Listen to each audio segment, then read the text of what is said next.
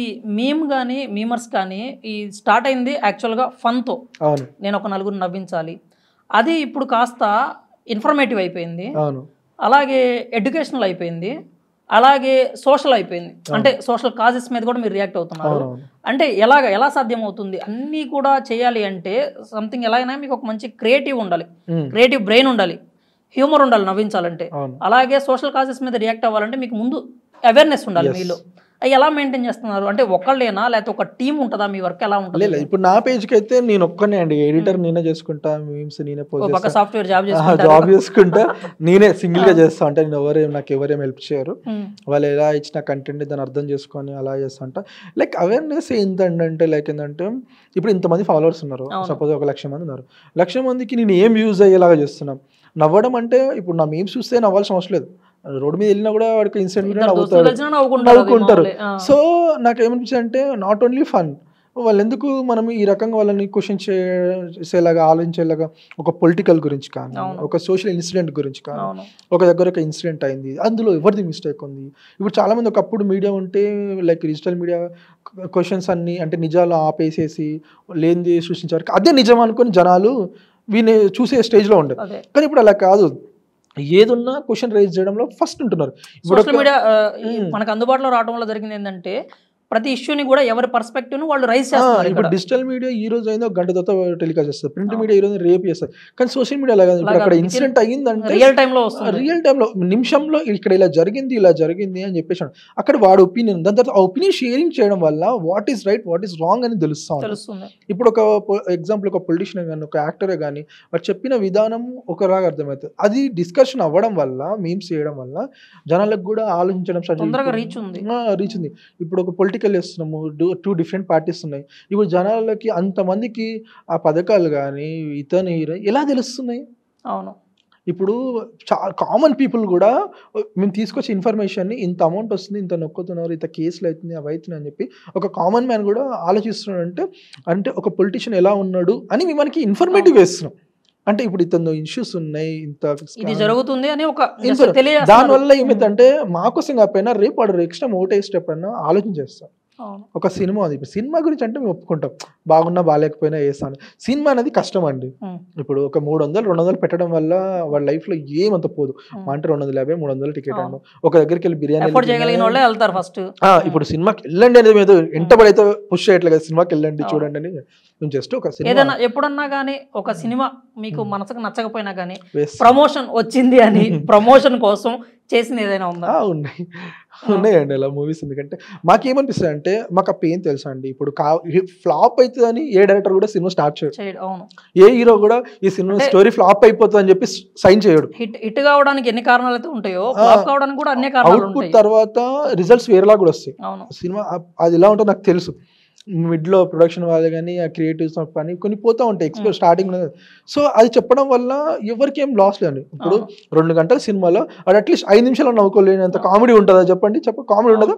ఒక ఐదు నిమిషాలు అర్థం చేసుకొని ఒక చిన్న message two and two hours తీసిన డైరెక్టర్ అక్కడ ఒక ఫైవ్ మినిట్స్ అని ఒక చిన్న మెసేజ్ అని సినిమాలో. ఖచ్చితంగా. సో నాకు అదే అనిపిస్తుంది. ఓవరాల్గా సినిమా చూసే వాడు ఏమంటాడు హిట్ హట్ అని డిసైడ్ చేస్తారు కానీ ఉమ్. సో అంత వరస్ట్ ఎవరు తీయరు. ఒక సాంగ్ అయినా బాగుంటుంది.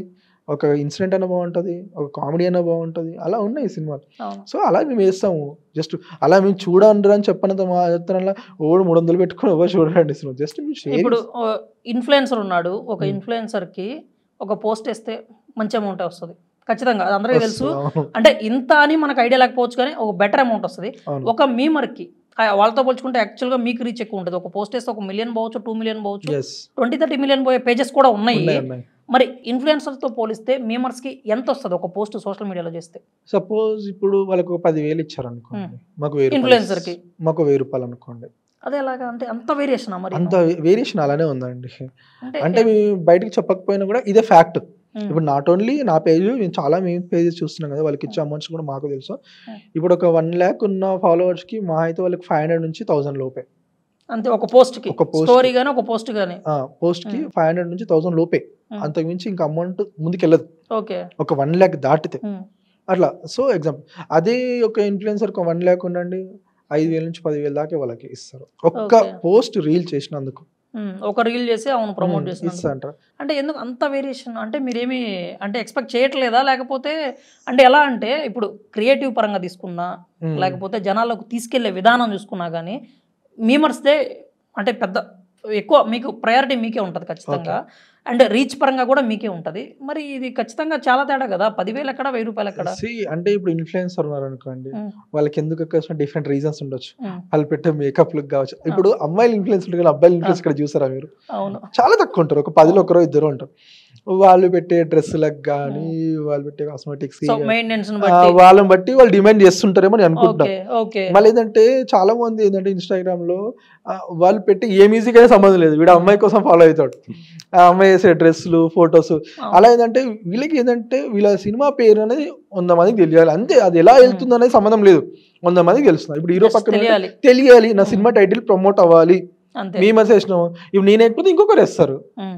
వాడకపోతే ఇంకొకరు పోటీ వేస్తారు. ఉంది పోటీ ఉంది అనమాట. ఇప్పుడు ఇప్పుడు నాకంటే అవసరం లేదు డబ్బులు అని చెప్పి నేను ఆపేస్తా.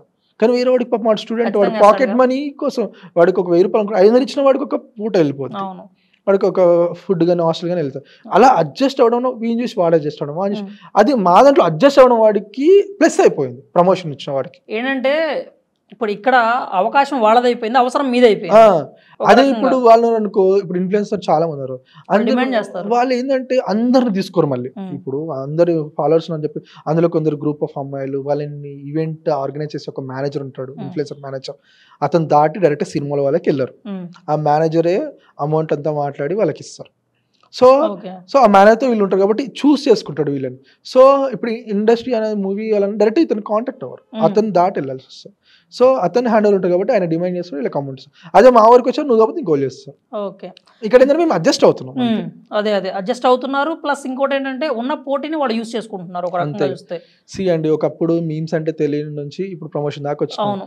రేపు అన్న రోజు ఇంకొంచెం అంచాలి కదా సినిమాల్ని ఖచ్చితంగా మీరు డిమాండ్ చేసే రోజు కూడా రావచ్చు ఒకప్పుడు ఒక సెలబ్రిటీని కలవలేనంత ఉన్నప్పుడు ఒక ఇండస్ట్రీలో ఇప్పుడు ఒక సినిమా. ఇండస్ట్రీకి ప్రెసిడెంట్ అతను పిలిచి మాకు ట్రీట్ ఇచ్చి మాతో ఫోటో దిగాడంటే చాలు మాకు. అవును. ఇప్పుడు అందరు కావాల్సిన ఒక మా ప్రెసిడెంట్ రోజు ఖచ్చితంగా మారింది. ఉమ్. మీమర్స్కి సంబంధించి ఈ గుర్తింపు పరంగా అయితే చాలా వేరీ ఉంది. ఇప్పుడు గతంతో పోల్చుకుంటే ఒక ఫైవ్ సిక్స్ ఇయర్స్ బ్యాక్తో పోల్చుకుంటే ఇప్పుడు చాలా బాగుంది. అదే అండి. ఇప్పుడు ఒక మా ప్రెసిడెంట్ పిలిపించి మాకు లంచ్ ట్రీట్. ఇచ్చి ఫోటో ఇచ్చారంటే చాలు మాకు ఇప్పుడు. అదే ఒక ఇన్ఫ్లుయెన్స్ తీసుకొచ్చి మా ప్రెసిడెంట్ ఏం పెట్టలేదు కదండి. అంటే కొందరు యూస్ చేసే వాళ్ళు మాకు నిజంగా మీమ్స్ని మీమర్స్ని ఆలోచించి వాడుకుందాం యూస్ఫుల్ అవుదాం అంటే కొందరు ఉన్నారు ఇండస్ట్రీలో. డైరెక్టర్లు. ఎగ్జాంపుల్ తరుణ్ భాస్కర్ కానీ చక్సేన్ అన్న కానీ లైక్ నందు ఉన్నారు కదా గీతా మాధురి. హస్బెండ్ నందు వీళ్ళకి ఏంటంటే మీమ్స్ని అంటే మీమర్స్ మా బాధలు తెలుసు వాళ్ళకి వాళ్ళ నుంచి ఎంత ప్రమోషనల్ స్ట్రాటజీ వాడుకోవచ్చు వాళ్ళు అంతే ఎఫర్ట్స్ మాకు కూడా ఇస్తారు అండ్ వాళ్ళ మూవీస్లో కూడా మీ పార్ట్ ఉన్నట్టుగా అనిపిస్తది ఇప్పుడు అంటే మీరు మిమ్మల్ని వాళ్ళు యూస్ చేసుకోవడం కావచ్చు లేదంటే వాళ్ళు మీకు స్టఫ్గా కావడం కావచ్చు ఇప్పుడు మీమ్స్ మీమ్స్ డైలాగ్లు ఎన్ని రాలేదండి సినిమా. ఎన్ని సినిమా కేసీపీడి ఇచ్చింది కూడా. మీమర్సే అవును. ఇచ్చినారు జంబలగ జానకి మీమర్సే. ఇచ్చారు అలా మూవీస్ని తీసుకొని వచ్చి మేము ఇక్కడ వైరల్ కంటెంట్ తీసుకెళ్ళి షోలలో వాడుతున్నారండి ఒక పెద్ద షోస్ ఉంటాయి టీవీ ఛానల్ షోలో. రిపీటెడ్గా రిపీటెడ్గా మేము ఇచ్చిన కంటెంట్లే పట్టుకొని అక్కడ షోలు స్క్రిప్టులు రాసుకుంటున్నాం. అది అందరు ఫ్యాక్ట్ తెలిసిన విషయం. మేము ఇచ్చిన ఫన్నీ వైరల్ ఇప్పుడు ఈ రోజు ఒక వైరల్ అయింది అనుకోండి. ఒక టూ మంత్స్ అగండి టూ మంత్స్ తర్వాత ఒక మూవీలో ఆ డైలాగ్ వస్తుంది పక్క వస్తుంది. సో అది మేము ఇస్తున్నాం కంటెంట్ కొందరు గుర్తిస్తున్నారు. కొందరు అసలు కరెక్ట్గా ఎవరిని ఎవరిని యూజ్ చేసుకోవాలి ఎవరిని తెలియని వాళ్ళే ఇలా మిస్టేక్స్ చేస్తున్నారు తప్ప కానీ ఇప్పుడు వాళ్ళకు రిస్ట్రిక్స్ ఉంటాయి ప్రొడ్యూసర్ కానీ ఇలా ఇలా వాళ్ళకు ఒప్పినట్టు కానీ మనకి ఎందుకు చేసామా ప్రమోషన్ చేసామా అయిపోయింది